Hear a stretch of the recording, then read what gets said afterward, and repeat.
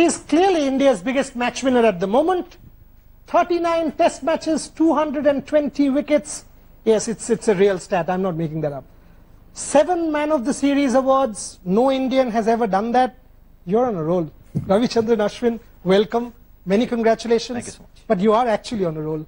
Looks like it. Uh, when I look back at my journey, it's been uh, it's been one hell of a dream. Uh, I never, I, at one stage, I just wanted to play one test for India.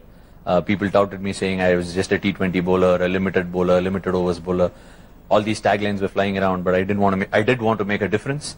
Uh, ever since I got my first man of the match in my first test, uh, till now, I can't. I can't even remember how the time has gone. It's just flown past, and I'm very happy where I stand today. So is it hard work? Is it talent? It's a harnessing of both. I think it's uh, repetitively trying to uh, get over people criticizing you for whatever you've not achieved, and uh, also a little bit of uh, own benchmarking that I've started to manage over a period of time. Uh, whenever, whenever I've gone out there, like every batsman wants to get a hundred, my aim is to get a five-wicket haul. So whenever I, it's in my vicinity, I've gone on to get it, and that's that's that's like an addiction for me now. And I try to get it. If it's not, if, if I don't achieve it, it's a bit of a disappointment. So I would say, in all in all, it's a bit of a benchmarking that I've tried to manage. Real strong words. He's an interviewer's dream, you know. I mean, for my viewers, every time I've interviewed Ashwin, he's one who will speak his mind. He will not hold back, which makes our job so much easier. And when you watch it, you will have a lot. And in this interview, we're going to celebrate him. We're going to get him to show his grips, what he does with this ball, mesmerizes the opposition. And we will also have some Diwali sweets. Maybe Virat will watch that and say, what is Boria doing to my premier bowler? That's also coming on this show. But talking on Virat, what an innings, what a player. I mean, it's mind-boggling the kind of uh, kind of chases he puts India down to. It's just amazing. I mean, uh, we were, I was watching the game last night with a couple of my friends as well, and uh, the way he just paces these chases. I I mean, uh, when Ross Taylor put his put his catch down, and he crossed 50, it was it was all but curtains. I mean, he was it was well under his reach. Uh, he'd never let the run rate creep up over 6.5. He was keeping it within his reach. The kind of boundaries and the way he runs between the wickets and the, I mean, there are, there are certain, certain grounds in India where he's absolutely mastered the angles and he knows where he can get, get his twos, when he can accelerate. For example, that game against Australia in the T20 World Cup. I mean, somebody who chases that game down and he, he literally hunted it down all alone. Uh, and to play the same ground and having the scoring rate under his control, it was just a matter of time. But uh, I think I think he is one of those guys who's going to drive Indian cricket really forward and up and uh, to heights we have we have never seen so far. One more question on him before I come back to you. You are, I mean, sort of very close to him, close friends. I've asked him this question about you and he has great praise for you. But can you decode Virat? I mean, each time we, we are running out of adject- adjectives now. In, uh, I mean, there's not one adjective that I can put him down to, but uh, if, if, if at all I could just pin it down into one, one word, it's actually not one word, it's role model in the sense that uh, uh, he, he uh, I, I kind of started playing cricket with him. He was this uh, very, very excited uh, young kid who burst onto the scene, uh, very aggressive. He just put his emotions, he just wore his emotions in his heart and continued playing cricket. He was uh, he was one of those cricketers people could easily pull down and say he's very aggressive, he's very arrogant and all that. But that is the next generation, isn't it? And he's just transformed the way cricket needs to be viewed in this country. He's he's extremely fit. He leads by example. Only if you do something, you can actually pull up your players and actually demand it out of your players. A- anything, any every walk of the game, he tries and leads by example. Sometimes I get I get worried and scared that he might injure himself trying to be that extra, trying to give that extra. Uh, I went up to him and asked him if he doesn't want to rest, and he's like, "No, I want to get a couple of hundreds." So yeah, when you go into a five-match series and look at a batsman saying, "I want to get a couple of hundreds," that's like that's like mind-boggling. But that's the standard he's managed to set for uh, cricketers coming, uh, batsmen coming from our country now. And uh, what is also interesting is he can sort of sustain that intensity day in, day out. His, his fitness allows him to do it. He's one of those batsmen who's done performance training in a fashion which is enhancing his game. He's definitely had skill, no doubts. He's had the skill, he's had the potential, he's had the thing of hunting down scores. He's chased. He's, a, he's one of the finest chasers India has seen. Uh, but to Perhaps talk, the best ever? One of best ever the world has seen probably. Uh, once upon a time, we used to call Michael Bevan as one of the chasing dreams. But I mean, times have changed. It is a different era. People are hunting down different kinds of scores. You don't know where he's going to go one day. One day we might be ch- chasing 400s on regular basis. And uh, if you put it down, put it down to that, his performance training is is attention to detail for smaller things. How we can convert those ones to twos, how we can sustain after the 41st over. How often do you see actually cricketers batting at number three or opening the batting, thinking about 40 and beyond overs, and he does that actually. And if you see yesterday, he took the game till 47 and just clubbed Trent Boult. Like, I mean, just finished the game in an over. He knows exactly what he needs to do. But Ravichandran Ashwin is one man. Virat Kohli, when you ask him, and he will say, my biggest match winner, throw the ball, winning the match. What's happening? I mean, what have you done? I mean, it, because I know, having followed you closely off season, you work immensely hard. Is it sort of num- the variations that's, that are working, or, I mean, come on, with so much technology, why are people not able to figure you out? See, I, wouldn't say not being able to figure figure me out is one of the reasons. I would say uh, my my adaptability is one of the biggest strengths I have uh, to make decisions on the field. Try and convince my captain to change fields. Try and make him give that extra couple of overs, and also to a greater extent try and analyze batsmen about what their game plan is. These are these are my strengths on the field. I can try and make adjustments towards that.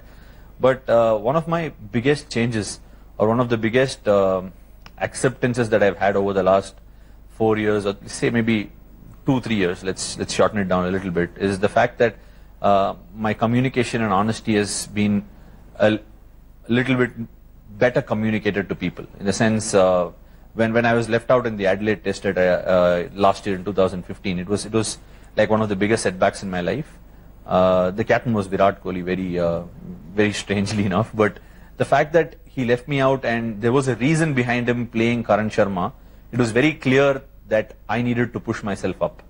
And uh, it, it was I, I never never took it on my uh, took it on myself as a personal decision.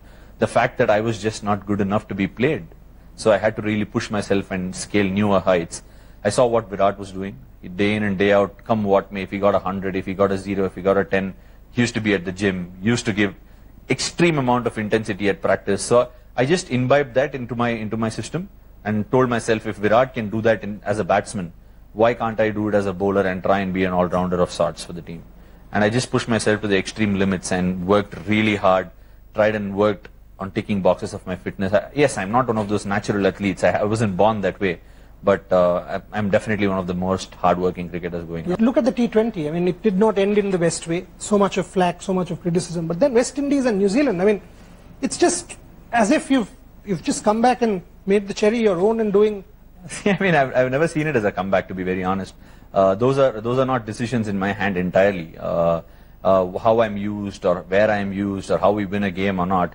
I definitely want to win all the games that I bowl for my country, but it, it's not that it's not that it's going to happen every day. But the fact that I'm bowling really well and I'm trusting my skill cannot be changed. I will not force you to answer this question, but because it's you, I'm asking this. If a T20 like thing happens, does it dent a bowler's confidence that, okay, maybe my captain doesn't have enough faith, I am the match winner, was I given the, the a raw deal? See what what I've what I've understood is the fact that uh, sometimes sometimes decision making is uh, is is based on what's what's offered to a captain or what's offered to a leader. He has to make decisions based on what are the conditions, what are the batsmen, and uh, uh, quite often you- what what I fail to understand is the fact that uh, I'm just I'm just operating merely on my merely on my want to win games for India, want to bowl those four overs, want to picking pick up those wickets, and when that doesn't happen, I'm just disappointed. That's it. This is your, this is your domain. Please, can you show my viewers? It's all yours. This segment, before I go into a break in the next three minutes, it's all Ravi Ashwin. Tell me what, what do you do with this ball? What are the variations?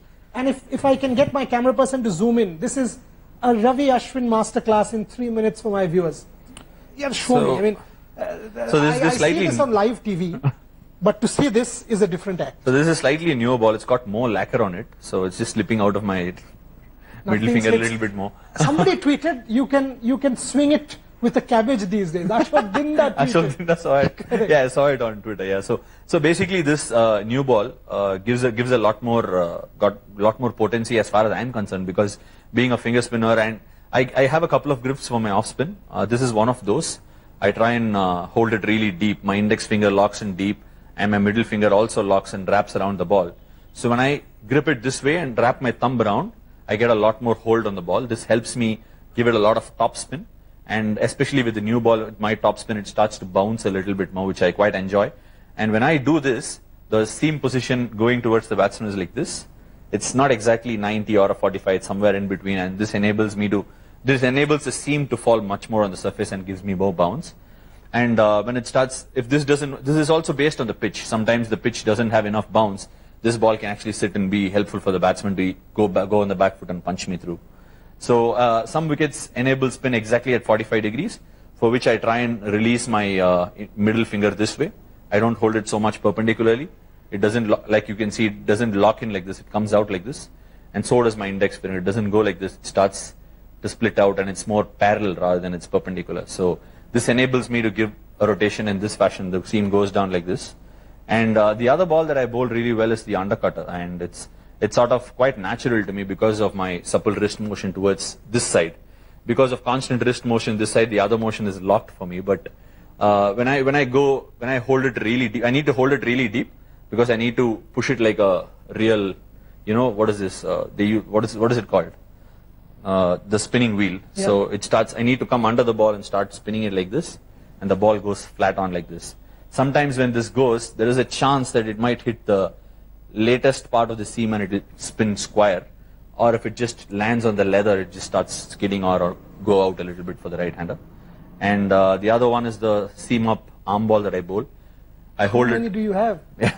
How These are these are these are just the off spin uh, ones. Wow, So, man. And, and so- the carom ball also is the so the carom ball is something I'm using very sparsely these days. I was about to say Uh, that. So yeah, uh, I think uh, I've, I've made, always maintained that there's no change in the change in my stance as far as carom ball goes.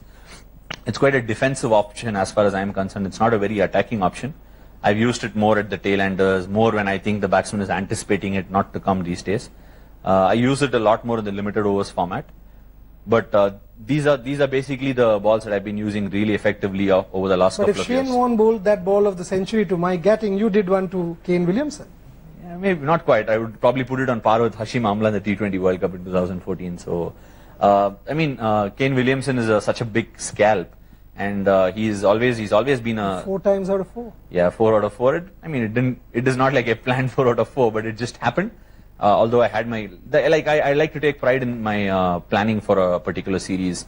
Kane Williamson generally lunges out towards off stump. There was a big play in that for Anil Kumble as well. He told me how going wider outside off stump for Kane could be a good option. This combination, Virat and Anil, I mean, just talk to me about Virat as a captain because you've, you know, now 2015 onwards, it's been a while that he's captaining in Test cricket. Mahi and Virat as captains, can you just tell me a little bit more, having played with both? See, I think uh, both of them have different teams for starters, and uh, the, the team that Mahi was handling was a team made of full of seniors. People knew what they had to do. They just turned up in a game and they knew what they had to do. So there wasn't a lot of driving that was needed, and Mahi's style was very different to that of Virat's. Whereas Virat was someone who he always wants to do it. You know, if you if you tell him uh, this is going to be impossible, this is not possible, that's that's like proper fodder for him to say, "Chalo, okay, let me show you how it needs to be done." So you don't want to challenge him. If if you need to defeat Virat, you need to go with him. So that's that's that's how it is because he loves any kind of challenge.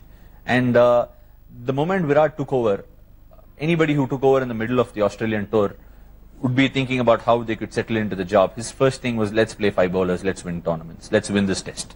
So you know, from the moment he took took over, irrespective of the abilities or irrespective of the immaturity that the team had, he was going for it, and that that's what you saw in Adelaide. That was one of the finest test matches I've been a part of. I, I feel a little sad that I was not playing that game, but my God, what a game that was to watch. And we went we after. see Nathan Lyon picking so many, Yeah, I mean that's that's besides the point. But what I'm saying is an Indian team ever since I came Obviously. in, ever since I came into the team to chase down a score like that on the final day in Adelaide was nothing but attitude, nothing but telling yourself and telling the team, boss, listen, we are going for this. Not very often do you get a chance in Australia to go after a score like that and win on a final day with all potholes outside off stump for an off spinner.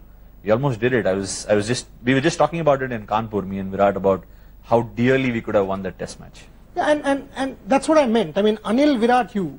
For me, three of the most intense and three of the most desperate people wanting to win test matches, right? Yeah, you're right. I think I, I don't think you want to you want to bring the whole whole team near the discussions that we have, and uh, around around the team dinners and parties we are talking about cricket, and it, it's never been a culture. I mean, I, I love dissecting and talking cricket all the time, and I, I, I think I found allies in allies in both of them to keep talking cricket 24/7. And sometimes sometimes I know I can be annoying, and to an extent, my wife has started understanding Test cricket better now. Wow. And we will come to that. We will come to that because this man has just come back from a rare, very rare family three day or whatever holiday uh, from. I will not say where because the next time he'll be hounded. But we will, we will ask him what did he eat in that holiday also. but coming to the last part of this interview, the one team that might have scarred us. Very rarely do we lose a home series in England. They're coming back. Any special plans? Any scarring? See, I mean, uh, I've, I've maintained, and this is not something uh, I'm, I'm. I feel very bad for giving this answer to you, but uh, I find myself in that zone or in that space where I'm actually enjoying my bowling. In the sense, Great. every every spell of my bowling is actually trying to get a batsman out or trying to change. It is not like I want to win the game, you know, I'm not looking to win the test match directly, which has happened in the past. Go into a test match, look to defeat them, which is also a part of the learning learning uh, curve as well. So it's about trying and building into a spell, getting that one wicket, trying and plotting and cutting batsmen's run scoring options, getting their wickets. It's been an absolute delight and I'm actually enjoying the process and I've all along heard legends talk about how the process is important, not so much the result but that's that's a different bygone purpose. But for me, I'm enjoying the process, which in itself is telling me that I'm doing something right. And as far as the team that's coming in, uh, it's going to be a great series. We, we played on a wicket that we played on very very good wickets against New Zealand. It's going to be very very important how well we're able to match them spade to spade, dice to dice, all through this five test series because they are a good team. Like what we saw in Bangladesh, they they were they were faced up against it, but they managed to play and control the ebbs and flows of Test cricket. So it's going to be a very, very good series. And Alastair is, is, is, a very good player himself. If you look back to that 2012 series, he and Kevin Pietersen's 186 turned it around for them. He's a good player of spin. In Bombay, yeah. In Bombay, yeah. It was a, it was it was a it was a great Test match. They played they played a couple, couple of finest innings I've seen in Test cricket uh, in Mumbai. And uh, make no mistake, Alastair has been around for a long time and he knows exactly how test cricket flows are and how to bat and he can bat long periods of time. But it will be Ravi Ashwin versus Alastair. Many will build it up like that. I mean, of course, you, you need people to follow the game, so you need build-ups like that. I'm going to look forward to this contest between uh, me and Alastair or the entire English team. It's going to be it's going to be great. As I told you, it's it's it's about trying and seeing what plans they bring to the table more than me planning the, for them any, planning anything for them because it's, it, they're going to come in with a purpose. They're going to come in with a plan to try and dissect how we play cricket in the subcontinent. And it's all about waiting to see what they throw at us and try and deflect their plans. That's how it's going to go.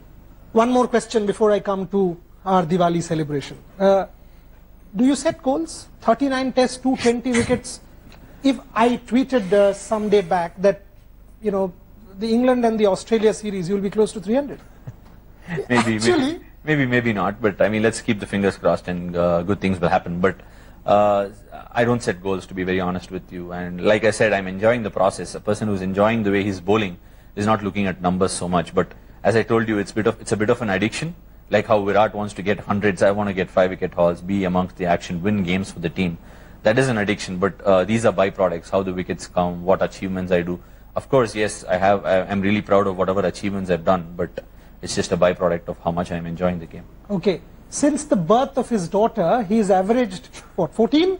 14 per wicket or 15 per wicket. So, and, and, and we keep discussing this because we both change diapers at night. So that's another commonality that the two of us have. Does Virat know that you, by the way, did you indulge yourself in, in that holiday? Uh, no, not really. Uh, uh, ah, my, my, my, fam my family is like really pissed off with me because of the way I eat. so what do you eat? Nothing. I mean, there's a lot of protein protein intake that's gone into my uh, gone into my system, uh, and uh, we've got a very very good trainer in the team, and so much so that if when you see Virat eating, you feel really guilty because you know it, many people talk about how well he performs, but how how well or how poorly he eats. Like he, it, it's like he eats, but he always chooses the healthy option. Yeah, he told me in that so, interview with me, he does. He doesn't. Yeah, I mean. So when you when you see him eat and you think, God, I want to be like him or perform like him and you end up seeing what you eat and what he eats, you know why, where the difference comes from. He, he's so. now making me feel guilty for even offering this. No, I do. As a true Bengali. See, I, I, I, have a sweet tooth. I'm, I'm not denying that, but I would much rather have one cheat day where I can have a few sweets than actually cheat over a period of time and have, have poor So let's have a cheat day. Come on, let's have a cheat day. This is our Diwali hopefully, celebration. Hopefully Virat doesn't have any time to see this. Virat, please. Or I will tweet and send let's you Let's have half and half of this. Okay, half and half says Ashwin And this whole box, by the way, we will give it to him for his family to take. And, and, and that will not be in camera, so Virat can't see that. But it's Diwali. All the very best to you for Thank you Diwali. much. and will you sort of, you know, send a wish to your fans and my viewers for Diwali as we have this Mishti? See, there's uh, there's one thing I, I that I take resolution for every Diwali. I I want to I want to see a place where it is it is like really clean and India is distraught of pollution and all that. And I'm a big big lover of dogs. So crackers when they when they actually cause harm to the dogs. Dogs. You also have dogs, Yeah, so I know I- we that love dogs, yeah. So they start running in. So I'm I'm I'm one of those started advertising where we have a sound-free Diwali. At least if you like to have, you can you can probably do your rockets or something like that, and have a colorful Diwali. Try and make sure the noise pollution is far lesser, and hopefully And have their Mishti. You can have how much of a sweets you want. It is a time I will also uh, relinquish my diet and go on have some uh, sweets. Uh, let's all let's all focus towards a wonderful uh, India 2020 and uh, make sure that uh, we we drive this nation forward in a fashion where we are uh, guilt free. We always look forward to the society, look forward to the people next door, and make sure India really prospers by 2020. Okay, let me close this by saying he said five wicket hauls is something that he's desperate for. Virat covets hundreds. So why not we do this? Under Mahi, let's win another Champions Trophy and another T20. And with Virat, let these guys be the number one test team in the world. We can't short for less. With, with such champions, with such performers, why not? Let India be the number one team in every format in the world and let us keep having our Mishti and celebrating Diwali. Thank, you you so much, so much for talking Wonderful to me. It was talking to you. wonderful talking to you. Thanks.